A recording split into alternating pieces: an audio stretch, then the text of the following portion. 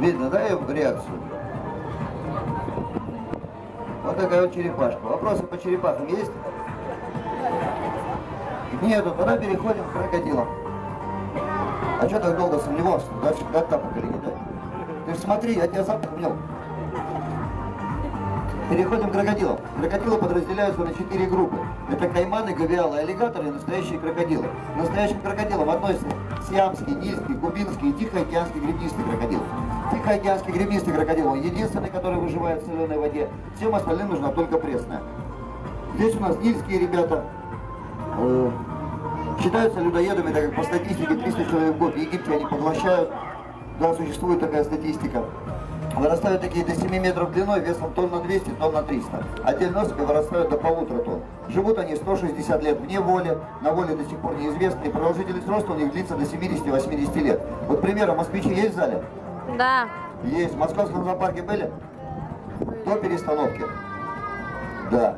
Видели там э, при входе с левой стороны за стеклом пятиметровый нильского крокодила? Он там один такой здоровый. Видели. Зовут его Аполлон. Наши друзья его там в шутку называют фюрером. А как он туда попал? Во времена Великой Отечественной войны, когда наши зашли в Берлин, его забрали с берлинского зоопарка как трофей. А по документации берлинского зоопарка он еще там прожил 35 лет. Сколько лет крокодилу? Уже больше ста. Еще неизвестно, каким он к ним попал, маленьким или уже взрослым.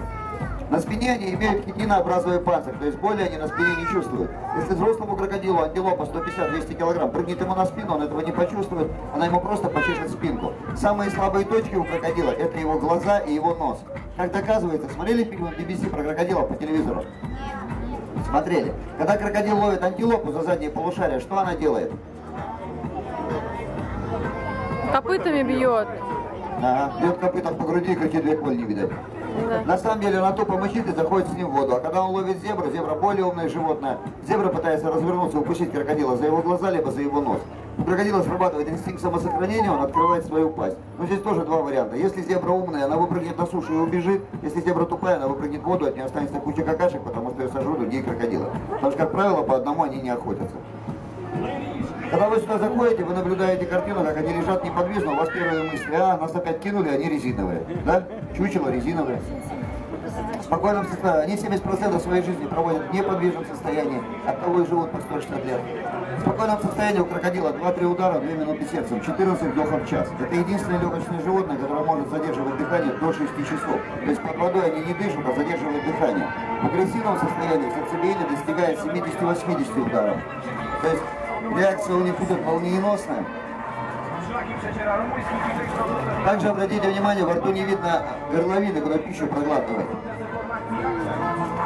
Видите, все закрыто во рту? Специально заклеили, чтобы не кормить, эконом-режим. Нет.